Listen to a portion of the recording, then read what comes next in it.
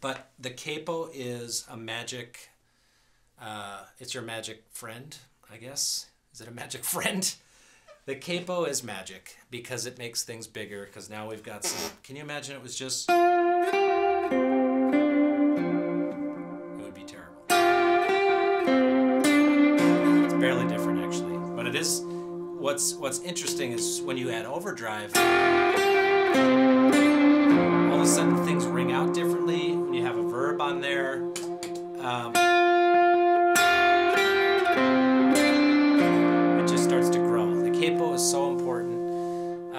I resisted it for too long and wasted years of my life. Get your capo, figure it out. It's a huge pain with tuning and all that stuff. Um, if you ever see me play, you'll see that I'm tuning about 50% of the time but that's because I understand the capo is critical. So anyway, bigger is better.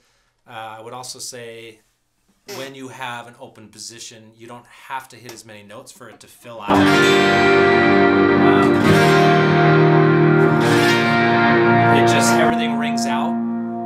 Nice. So capo three, obviously this is in this is in B flat. So depending on what you're playing it in live, maybe you'll get lucky and it's not in a flat key which just looks like a Scrabble board on the guitar.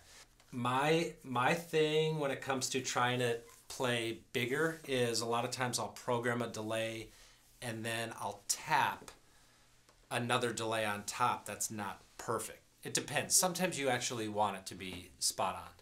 But the whole idea of delays is reflections off a room, right? And, and rooms are all different sizes. So um, I realized for a while I got too hung up on the perfect delay, and it's actually a little bit bigger when you add in sort of your own manual tap to it. It just, I don't know, it's sort of bouncing off of the one that's perfect and just widens it just a little bit.